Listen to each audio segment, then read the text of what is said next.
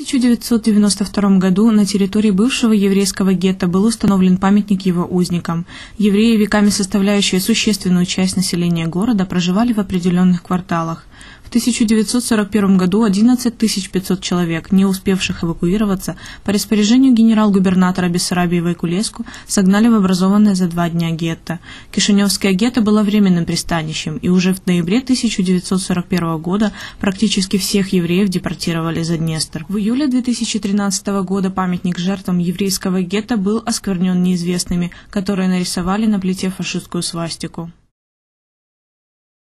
что-то слышал, но конкретно ничего не знаю. Знаю, что здесь есть квартал, и там было когда-то, держали этих евреев. Вот это я знаю, что подробно я как бы не знаю, но я знаю, что там. Գետոնը քիչնակ աշխատը գետոնը ֆաբնով կոնտեմպորարիզ մոնդալ Erau un cartier în care locuiau toată populația evreiască, nu din propria dorință, ci din cauza ideologiei care era impusă în timpul naziștilor. Ну, я иногда вот иду, я там почти рядом живу, и смотрю, там всегда цветочки, всегда прибрано, ничего не делает там плохого.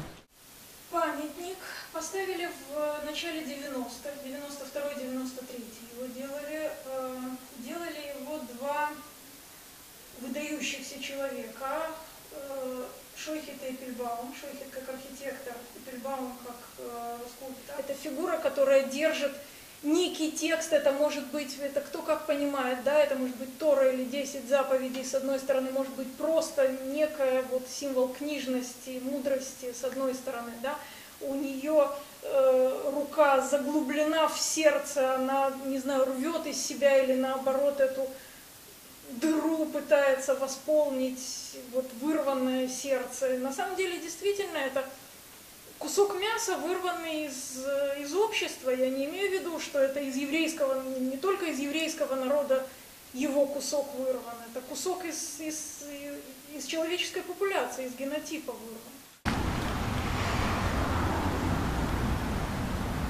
Для меня этот э, памятник символизирует Холокост евреев. Что немцы во время войны очень много плохое делали, очень.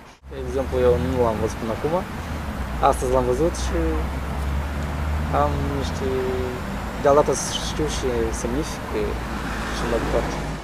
Monumentul mă bucură, monumentul e frumos, pur și simplu. Eu nu cunoșteam foarte bine, adică vreo 5 ani în urmă am văzut, deși trăiesc în Chișinău de mai mult 20 de ani. Întâmplător l-am, l-am văzut și uh, îmi pare, îmi pare bine că, că există astfel poate cei care nu știu despre ghettoul din Chișinău sau care nu știu în general despre Holocostul, cum el a avut loc în Chișinău, uh, pot să afle mai multe chestii despre, despre asta. Может повториться то же самое. История идет по спирали. На любых ошибках мы можем научиться. Просто хотим ли мы этого делать? Să se reproducă și astăzi dacă oamenii n-ar încerca din ce în ce să fie mai buni unul cu altul și să uh, nu aibă această ură pe care oamenii o au față de cei care sunt diferiți de ei. Emoție negativă, de exemplu, când îl vedem undeva desenat pe pereți din țara noastră, o emoție negativă. Символ, который использовали фашисты, по сути, классический коловрат. Это символ солнца, символ перерождения. Идиоты есть просто, вот и все. Просто рисуют ничего у нас люди. Думают, что они главнее той нации. Я думаю, что это, во-первых, наверное, молодежь, скорее всего, которые не знают, что не жили в то время, во время войны, и не знают ни Гитлера, ни то, что он делал. Eu foarte tare mă nervez, eu ca fiind istoric, eu tare mă nervez când văd tâmpiți și pe ăștia care fac chestii genul ăsta, altfel nu pot să-l numesc, fiindcă sunt oameni uh, ignoranți care nu știu ce s-a întâmplat, sunt oameni care mi milă de ei, de cei care fac asta, sau sunt cunoaște oameni care urăsc și nu au niciun fel de cunoștințe istorice referitor la ce s-a întâmplat. Минувшие выходные в социальные сети попали фотографии молодых людей, которые устроили фотосессию на еврейском кладбище в Кишиневе. Парень и девушка осквернили память усопших, показывая неприличные знаки и фотографируясь на могилах. Этот случай вызвал большой резонанс среди пользователей социальных сетей.